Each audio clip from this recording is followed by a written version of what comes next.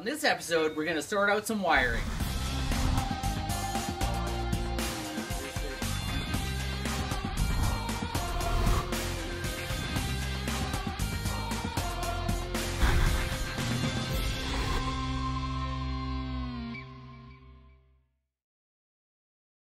Okay, so what I want to do is just kind of get to work on the engine bay here, clean up some of the wiring. There's a lot of stuff that's just been patched together and uh, yeah, it's kind of a mess. So I'm going to start by just kind of cleaning it up.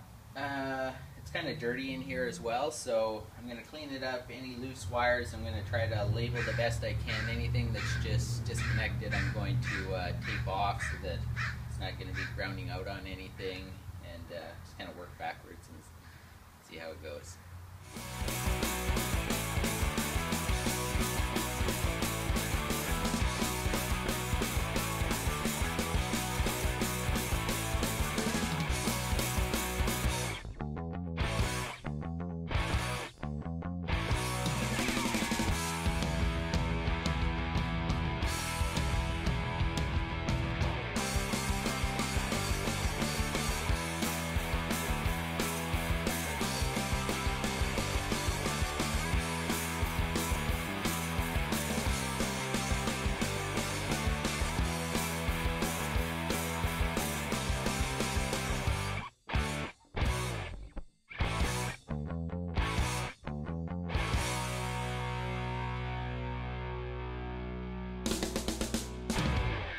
Okay, so I'm going to take a bit of a break from uh, under the hood. It's still a bit of a mess, but I'm slowly getting it figured out.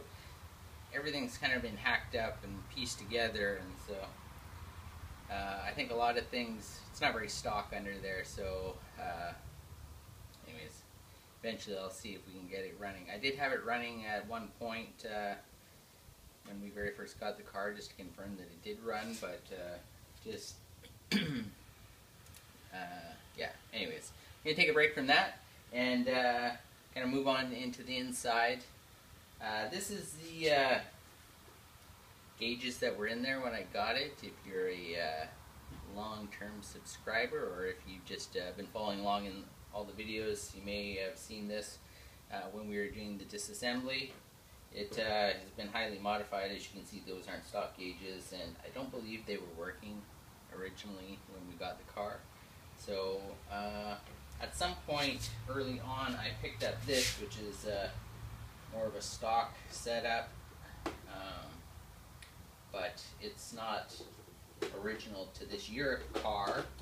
But uh, the dash that was in the car when we got it is not uh, stock either. So it has a later date dash. So this is kind of a matching system for this, but I'm not 100% sure. This is uh, functional as well. Looks like it's had a little bit of a repair on the back of it. So um, what I'm going to do now is just kind of move inside and then see uh, what wires I've got there, what plugs are available, and uh, see if anything looks like it'll just connect right up. I'm going to start with this one just because that's what I pulled out of it and uh, kind of go from there. The light switches and everything are so I want to see uh, if I've got any plugs that are just going to plug right in just to, so I can at least get the headlights and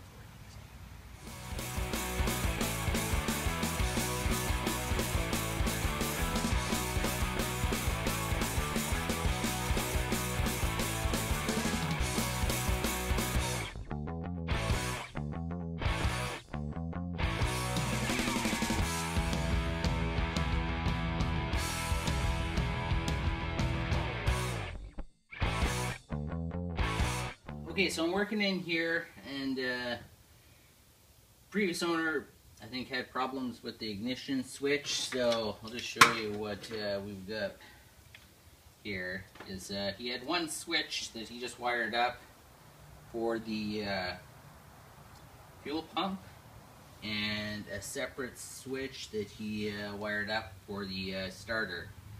Um, I can't even remember which one's which right now maybe this is for the starter this is the fuel pump so uh, to repair this I'm going to uh, just pull the ignition switch out and uh, switch that out.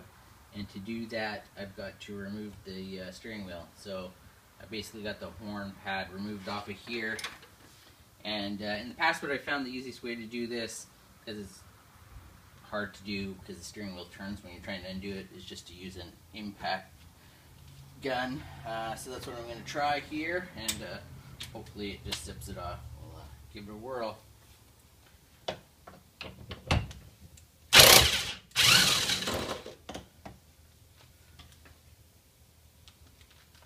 There we go.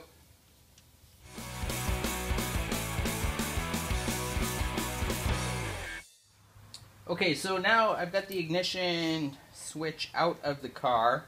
Uh, and basically I'm just going to run some tests. So I've got uh, power running to the number 30 terminal of the switch. And then uh, from this, on my phone here, I have some instructions on how to test this off of uh, cabbyinfo.com. So with the ignition off, I should have continuity through 30 and pin S, which is right here. So let's see if this lights up. Yes, continuity there. So that test is successful.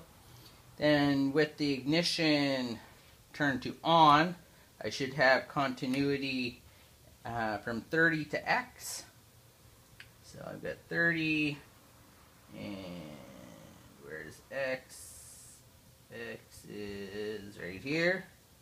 See if I've got continuity. Yes, I do. And I also should have continuity between 30 and uh, 15, which is right beside X here. And hopefully you can see that, but yes, I have continuity there. Now, to actually get the car to start, send power to the starter, I should have continuity between 30 and 50. So 50 is right here. Uh, and when I turn the key to start, see if I, I can hold this here.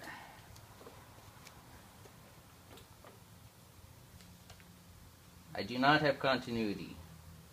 I do not have continuity with 30 and 50. So just uh, the next test is I should also have continuity from uh, 30 and 15 still. Uh, so with the ignition on I have continuity there and when I hit start I still have continuity to 15 so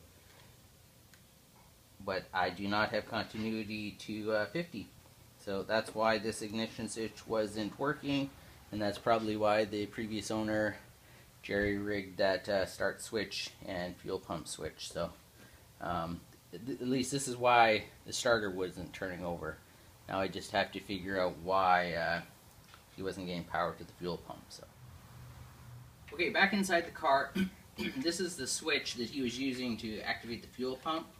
Um, and like I said, previously, I did get the car to start using this method. So now what I'm going to do is just uh, trace these wires back so I can figure out where the hot wire to the fuel pump is and then I can make sure that uh, I have power going to the fuel pump uh, when I reinstall the proper ignition switch. So that's what I'm going to do now.